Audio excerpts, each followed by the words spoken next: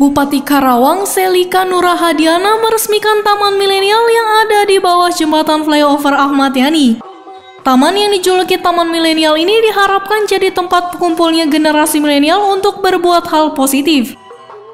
Taman Milenial Karawang dibangun tepat di bawah jembatan flyover Ahmad Yani dengan panjang kurang lebih 60 meter dengan fasilitas wifi, ruang publik, dan taman bunga. Pembangunan taman-taman di Karawang termasuk Taman Milenial yang dibangun Dinas Perumahan Rakyat dan Kawasan Pemukiman Kabupaten Karawang ini diharapkan jadi salah satu faktor untuk meningkatkan kebahagiaan warga Karawang.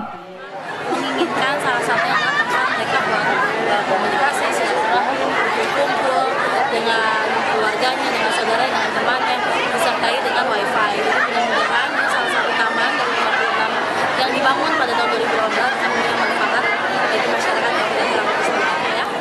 Eh, pertama Taman Milenial ini namanya dari Ibu Bupati ya karena melihat taman ini sering eh, dipakai oleh remaja-remaja untuk beraktivitas baik sore ataupun malam hari. Jadi sangat cocok dengan nama milenial zaman seperti anak-anak muda zaman sekarang. Ada akan ada rencana lagi Pak untuk taman di Ya, titik-titik mana? Untuk di tahun 2019 ini kita akan bangun juga taman seperti ini di bawah flyover Cikampek. Mudah-mudahan eh, keberadaan taman di Cikampek nanti juga akan menambah ruang terbuka untuk masyarakat bersilaturahmi, kongko dan lain-lain sebagainya.